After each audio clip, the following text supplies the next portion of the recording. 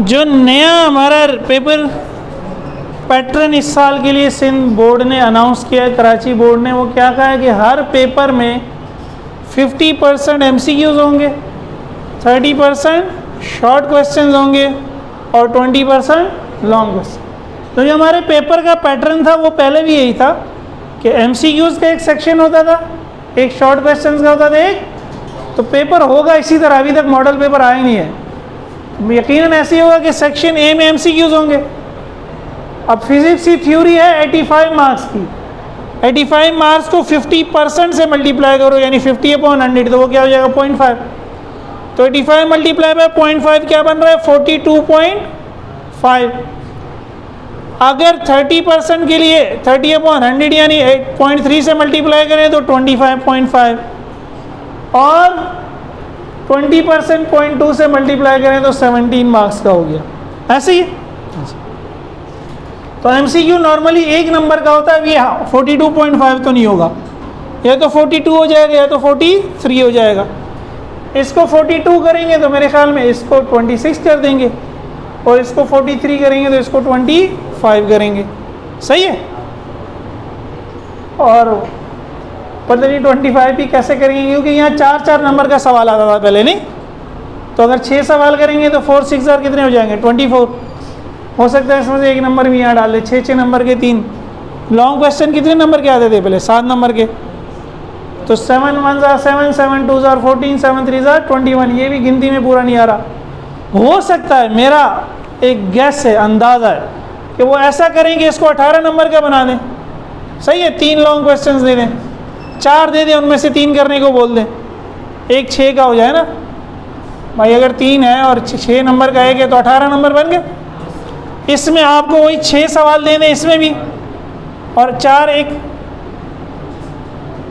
ये क्वेश्चन है, ये मार्क्स हैं, ठीक है? इसमें आप हो गए कि छः सवाल करो और एक चार नंबर का है। तो ये ट्वेंटी फोर हो गए। तो ट्वेंटी फोर प्लस एटीन कितना हो जाएगा? फोर्टी टू और इसको कर देंगे फोर्टी थ्री का। तो इस तरह शायद बन जाए। इस तरह शायद ये मेरा अंदाज़ा है। देखो, अब होता क्या है? जब बोर्ड का मॉडल पेपर आएगा तो ये तो कन्फर्म है। ये तो या तो 42 43 होगा। इनमें थोड़ा बहुत ले दे होगी, ताकि मार्क्स क्या हो जाए? पूरे हो जाए। ठीक है? तो इस हिसाब से एम सी क्यूज़ इम्पोर्टेंट हो गए। पहले भी हमने कहा था। अब आपको चैप्टर के एम सी क्यूज़ के नोट्स मिलेंगे। वो आप खुद घर जाके करेंगे। फिर हम आपको वो सॉल्व कराएँगे। उसके बाद उसके एम सी क्यूज़ का टेस्ट होगा। वो टेस्ट भी आपको सॉल्व कराया जाएगा। बेहतर है एम सी क्यूज़ के नोट्स और एम का टेस्ट हर चैप्टर का स्टेपल कर लें, ताकि एक साथ रहें और एक फ़ाइल बना लें। सही है, जिस तरह अगर बॉक्स फ़ाइल समझते हो, एक मोटी काली फ़ाइल मिलती है, उसमें सेपरेटर भी लगते हैं। तो फिज़िक्स के सारे नोट्स एक जगह एम के केमिस्ट्री के, अलग बायो के, ताकि एक साथ रहें, आपके पास आगे पीछे ना हो, घर जाके फेंक दो, फिर ढूंढते रहो, कहाँ गए? सही है? तो उम्मीद है जो एम आपको कराएँगे इन वही उसके से मिलते जुलते आएँगे। ज़्यादा आगे पीछे मैं फिर कहूँगा, आगे पीछे नोट एमसीक्यू लेने के चक्कर में नहीं पड़ना। जो हम करवा रहे हैं, वही करना। ये तो हम साथ साथ कर ही रहे हैं। सेक्शन बी में नोमेरिकल्स आते हैं, ज़्यादा पहले भी बताया था। नोमेरिकल हम छोड़ नहीं रहे कोई भी।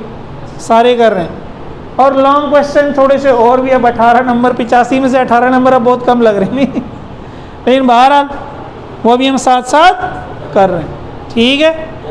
नेक्स्ट लेक्चर में इंशाल्लाह हम चैप्टर सेवन स्टार्ट करेंगे। उसमें डॉट प्रोडक्ट का ज़िक्र आएगा। डॉट प्रोडक्ट हमने पढ़ा था। डिटेल में नहीं डेफिनेशन ही ना। डिटेल में क्रॉस पढ़ा था तो डेफिनेशन ही चाहिए। डॉट प्रोडक्ट जितना मैंने पढ़ाया था वो पढ़ के आना। वरना वीडियो लेक्चर सुन लेना, है भाई?